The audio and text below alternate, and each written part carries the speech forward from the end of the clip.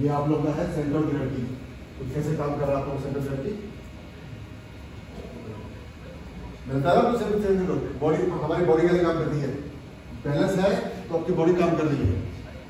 और, आपका central gravity कैसे मूव कर रही है आपकी? सेंटर पे। जैसे ही आपने लिमिट को बढ़ाया स्पीड बढ़ाई अपनी तो क्या होगा आपकी? सेंट्रल ग्रेविटी मूव हो जाएगी आपकी। किधर? जिधर आपने फोर्स दे दी सेम वाला इलेक्ट्रिक है। यहाँ पर वाला इलेक्ट्रिक देखो। अभी क्या है? सेंटर लोअर काउंटर दोनों कहाँ का मायने दिखा नीचे है आपका ट्रायंगल यहाँ कन्वर्ट होता है।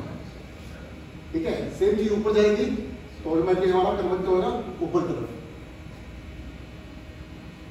अब ये सेम वो चीज़ है सेंटर में काम होगी, ऊपर तरफ़। और ब्रेक बाद में क्या हुआ आपका? नीचे हो गया। तो कभी भी ऊपर लेके नहीं चलना है। टर्निंग देखो टर्निंग पेजेस का है, जहाँ से रहा है ये भी वो साइड घूम रही है, आगे नहीं पिछला केवल एक्सेल काउंटर में मूव करता है। काम रहा है केवल काउंटर में मूव कर रहा है फोक का व्हील नहीं।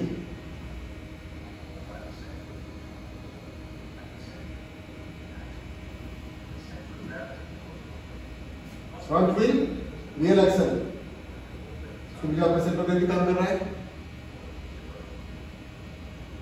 लोड हाइट पे है, ब्रेक मारा पहला ब्लाइंड है। जैसे ब्रेक मारा, क्या होगा? आपका सेंटर मूव हो गया। आगे की तरफ़। अगर टर्न किया आपने तो आपका गाड़ी पलट जाएगा। तो क्या आपका थ्री पॉइंट हो गया। स्टेबिलिटी एंगल में आपका। टर्न नहीं करना आपने।